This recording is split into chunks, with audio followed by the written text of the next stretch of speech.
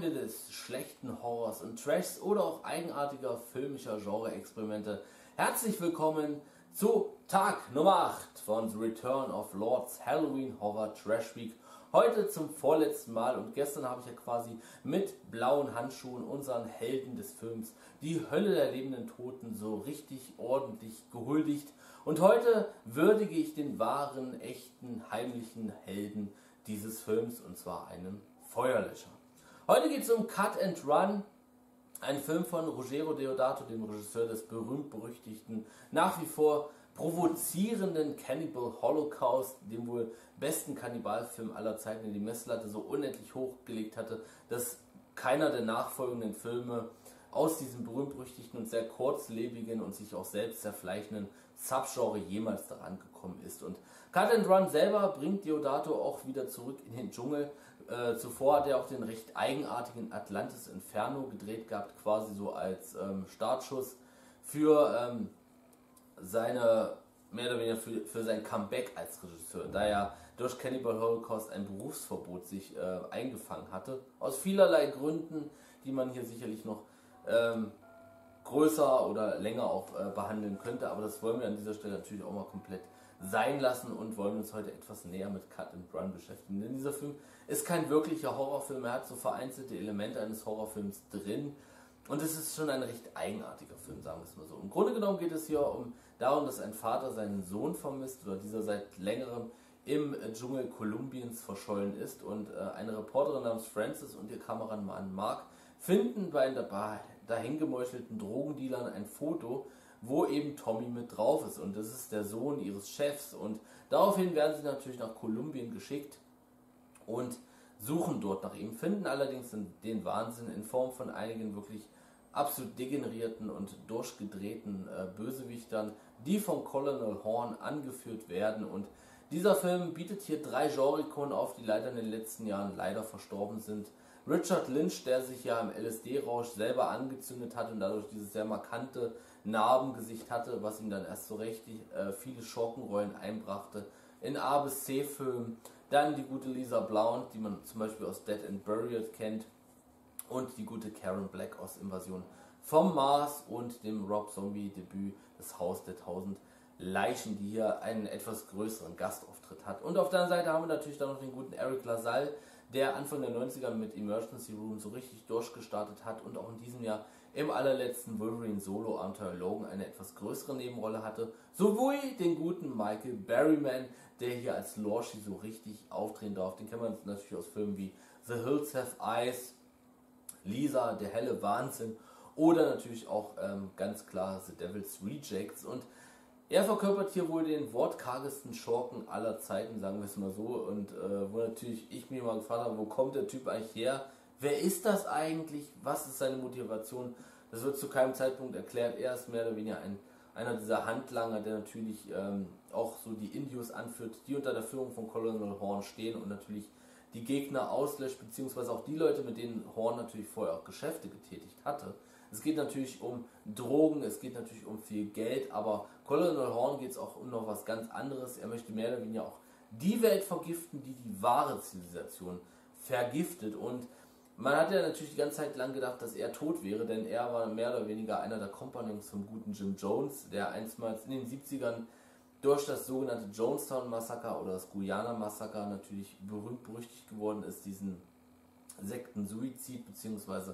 Massenmord und der ist doch nicht tot und der hat sich mehr oder weniger diese verschwurbelten Gedanken von Jones mehr oder weniger angenommen. Im Grunde genommen, das ist die Handlung des Films, der zumindest handwerklich auf einem wirklich ordentlichen Niveau ist.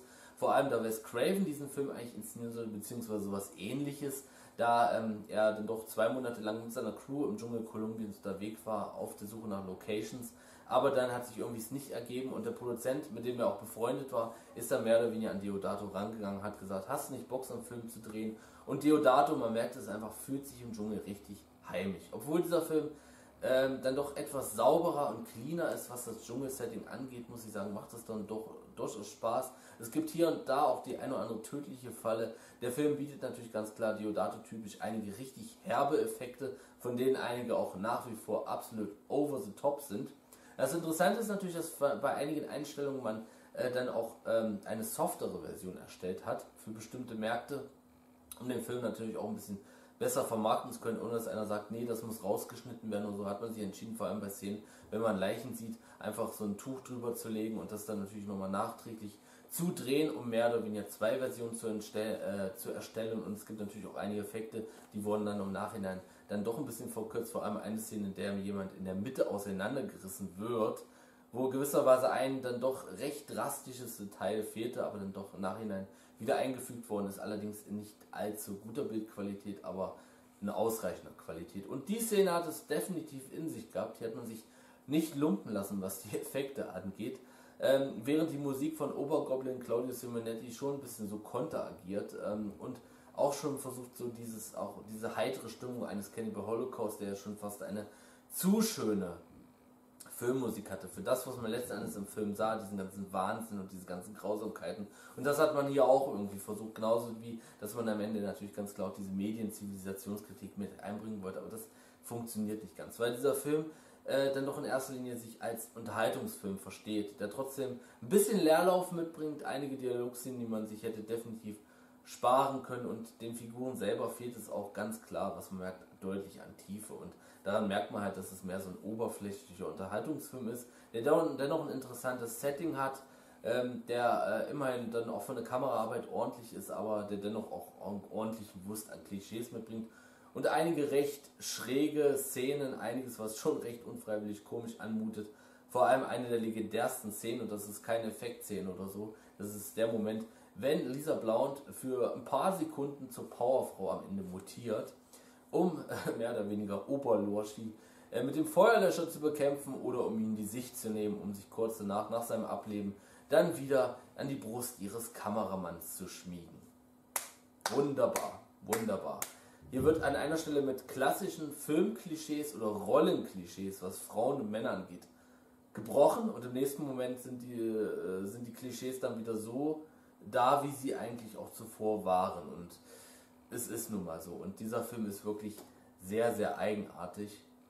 Und das würde auf ewig bleiben. Das sagt Deodato selber, diesen Film, Drehbuchautor Dadano Sacchetti, äh, sagt selber, der auch mit Fulci sehr oft zusammengearbeitet hat, dass dieser Film leider vor allem daran leidet, dass die Story nicht so gut ist. Aber ich muss sagen, es ist dennoch ein sehr unterhaltsamer, sehr beschwingter, vergnüglicher Film mit einem recht hohen Bodycount, mit einigen sehr kreativen Kills, sagen wir es mal so.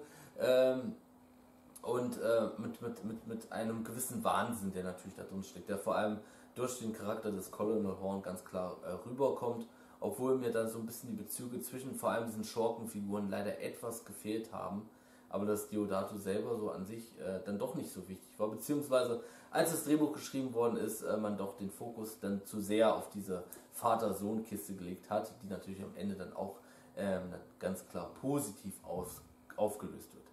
Von mir bekommt der Film dennoch ganz knapp noch 7 von 10 Kürbisse. Ihr könnt natürlich in die Kommentargruft schreiben, ob ihr den Film schon gesehen habt, ob ihr ihn euch anschauen wollt. Ja, dann sehen wir uns natürlich morgen, natürlich ähm, ohne dann den Schaum im Gesicht, äh, wieder um 18 Uhr zum großen Grande Finale, wenn es dann zum allerletzten Mal in diesem Jahr heißt The Return of Lords Halloween Horror Trash Week.